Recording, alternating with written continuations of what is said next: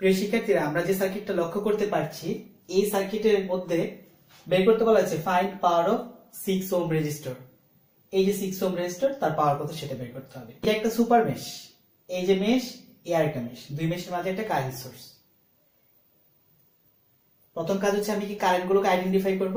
Identify করো এগুলো ধরো হচ্ছে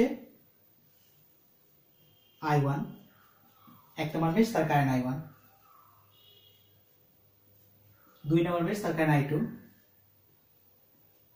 তিন নম্বর মেশ তার কারেন্ট হচ্ছে আই থ্রি এখন, এই সার্কিট থেকে আমি একটা জিনিস লক্ষ্য করতে পারছি, আমি কিন্তু আই থ্রি মান জানি। আই থ্রি মান কত বলতো? সেভেন এম্পিয়ার এখন আই থ্রিটা প্রথমে লিখে ফেলি। I three equals to seven ampere এটা কি মাইনাস হবে না প্লাস হবে? এটা প্লাসই হবে। কেন? এই দেখো, আমার কারেন্টের ডিরেকশন কোন দিকে? আমার কারেন্টের ডিরেকশন ঘুরে দিকে এদিকে যাচ্ছে। আর এই সোর্সের কারেন্ট একই দিকে যাচ্ছে। তার মানে এটাকে আমি সেভেন এম্পিয়ার পজিটিভ দেবো। এখন আসো অক্সিলারি অংশে যাই। অক্সিলারি কি? অক্সিলারি হচ্ছে সুপার মেশ যে দুইটা আছে, তার মাঝে যে কারেন্টটা থাকবে, সেটাকে দিয়ে যে আমি ইকুয়েশনটা তৈরি করব, তাকে বলব অক্সিলারি ইকুয়েশন তাহলে এখন দেখো, এই কারেন্টের দিক উপরের দিকে, এই দুই কারেন্টের মধ্যে কে উপরের দিকে যাচ্ছে? আই টু উপরের দিকে যাচ্ছে। অক্সিলারি বের করতে চাইলে অক্সিলারি ইকুয়েশন বের করতে চাইলে আমি লিখব I two minus I one সমান কত? তিন এম্পিয়ার এটাকে সমীকরণ কি ধরবা? এক। একটু সাজিয়ে ধরতে পারো। Minus I one plus I two সমান থ্রি এটা হচ্ছে আমার সমীকরণ এক। এখন আমার পরবর্তী কাজ কি? পরবর্তী কাজ হচ্ছে মনে মনে ধরবে, এই তিন এম্পিয়ার কারেন্ট এখানে নেই, এটা অলরেডি ওপেন তো এটা ওপেন থাকলে পুরা এই এই মেশ এই মেশ দুইটা একসাথে সুপার মেশ হয়ে যাবে। এই সুপার মেশের মধ্যে আমি কেবেল প্রয়োগ করব। সুপার মেশে কেবেল প্রয়োগ করার আগে চিহ্নগুলো দিয়ে নিই। Positive negative positive negative positive negative চিহ্ন দেওয়া শেষ। এবার আমি কেবেল অ্যাপ্লাই করব। দ্বিতীয় চিহ্ন নিব টোয়েন্টি সোর্সের টোয়েন্টি মাইনাস ফোর তার কারেন্ট কত? I one minus six. এর কারেন্ট কত? এর কারেন্ট দুইটা। আই ওয়ান থেকে আই থ্রি মাইনাস যাবে। I one minus I three. এরপর আসো। Minus eight. তারও কারেন্ট দুইটা। I two minus I three. এরপর লাস্টেরটা মাইনাস ওয়ান, আর তার কারেন্ট হচ্ছে আই টু সমান জিরো।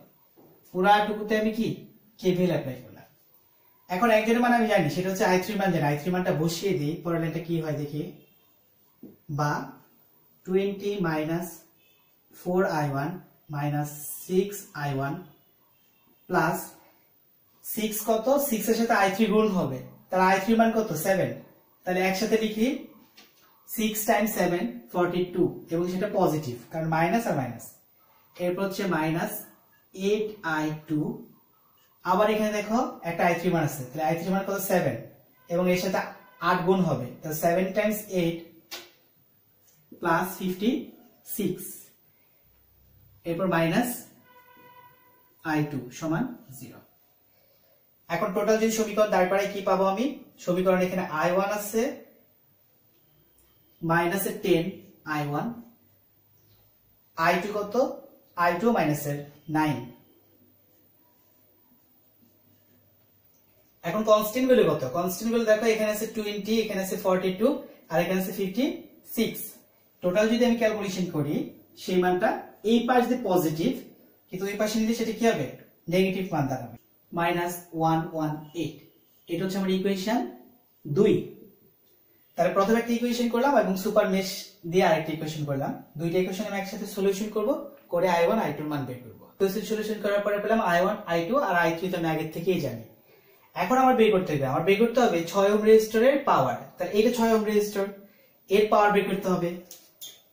তাহলে P of six ohm resistor ফর্মুলাটা কি হতে পারে? I of six ohm resistor whole square into কি? আর সিক্স আই সিক্স অর্থাৎ আই সিক্স বলতে এই সিক্স ওম রেজিস্টার ভিতর দিয়ে কারেন্ট এইটা কারেন্ট কি হবে বলতো এই আই আই থ্রি আর কি আছে? আই ওয়ান এই দুটোর বিয়োগ ফলিত হবে কি? এইটা কারেন্ট কারণ এটা যেহেতু অলরেডি কি তিন নাম্বার মেশ এবং এক নাম্বার মেশের মাঝে অবস্থিত। তাই দুইটার বিয়োগফল হবে এর কারেন্ট তিন নাম্বার মেশের কারেন্ট এক থেকে তিন বাদ দিই। তাহলে একের নাম্বার কারেন্ট কত ছিল? Four point seven eight nine minus তিন নাম্বার কারেন্ট কত? মানে তিন নাম্বার মেশের current whole square into R six এর মতো সিক্স টোটাল ক্যালকুলেশন করে তুমি মান পাবে twenty nine point three three watt এটাই হচ্ছে আমার ছয় ওহম রেজিস্টারের মধ্যে দিয়ে ওহম রেজিস্টার কর্তৃক পাওয়ার ড্রপের মান। শিক্ষার্থীরা ধন্যবাদ সবাই